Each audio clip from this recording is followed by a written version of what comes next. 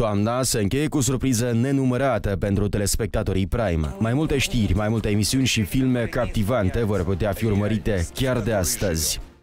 Обман, несправедливость каждый день. На меня выдвинуто иск на полмиллиона. Очередной поджог делать или что ты хотел сделать? Какая мама, которая бросила меня как собаку? Talk show-ul în limba rusă Vremea Pravd, prezentat de jurnalista Ludmila Muntean, este o platformă socială în cadrul căreia cei mai buni specialiști din diferite domenii vor încerca să ajute oamenii rămași fără speranță. Где мой папа? Говорю, нет у тебя папа. Хватал за руки, загораживал дверь и меня просто не выпускал. Ты должна отдавать отчет, где ты, во сколько и как. Все слова просто вранье.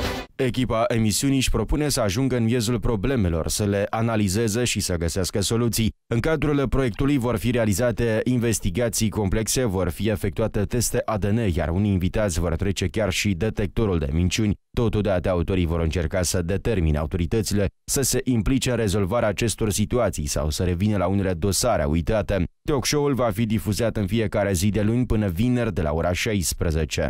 Первое в стране честное ток-шоу на русском языке с 15 ноября по будням в 16.00 на телеканале Prime. Înainte de vremea pravd va putea fi urmărit serialul de producție coreeană Împărăteasa Ki. Acesta va fi difuzat din 15 noiembrie de luni până vineri la ora 14 și la miezul nopții.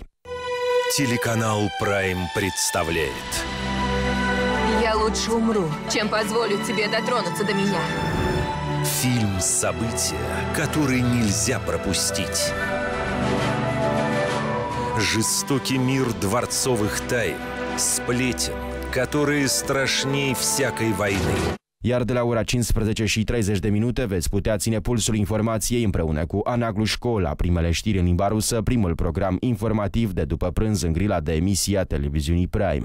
Вы смотрите новости на канале Prime в студии Анна Глушко. Сейчас коротко о главных событиях к этому часу.